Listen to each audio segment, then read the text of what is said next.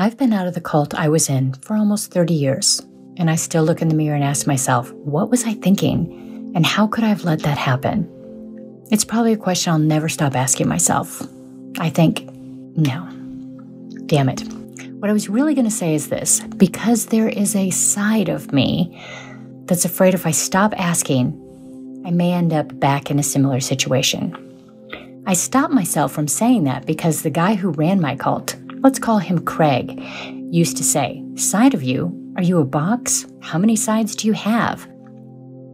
I've been out of the cult that I was in for almost 30 years, and I still have his voice in my head. My childhood was full of all of the things that would eventually strengthen me abuse, abandonment, and neglect.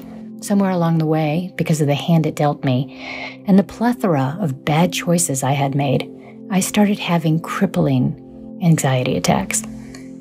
I started passing out in public and at home two or three times a day. By the time I was 18, I had had these attacks for a year and was ready to end my life. I met Craig when I was 19 years old. He was 20 years older than me and a master manipulator and con artist. He could turn every word you said into a weapon against yourself. He used our histories and personal traumas like a string to push and pull us through our psychosis like a yo yo. He kept us working against ourselves and each other. Five years passed before I got out of the hell I had created, and my escape came in an improbable place. In his evil genius, Craig had figured out encouraging the women in the cult to become strippers was a great way for him to get more money out of us. I was all for it. That's right, I wanted to be a stripper. Until this point, I was a prisoner in our house. I was rarely let out and seldom without another member of the cult.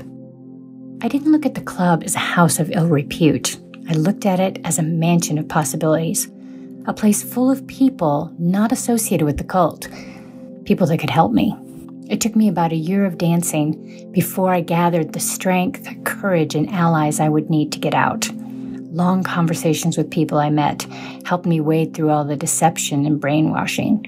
I met doctors who knew good therapists, lawyers, in case Craig came after me legally, and police officers that would teach me how to protect myself.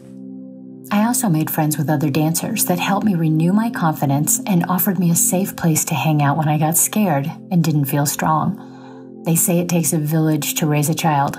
Lucky for me, it only takes a full topless bar to save a 24 year old girl. Yes, his voice is still in my head, but hearing something and giving it power are two different things. His voice used to terrify me, now it amuses me. It wasn't an easy or overnight transition, and I am eternally grateful to everyone who helped me. The strength I gained from freeing myself was helping me to build the life that I have now a life of confidence, rich with opportunity, friends, and love.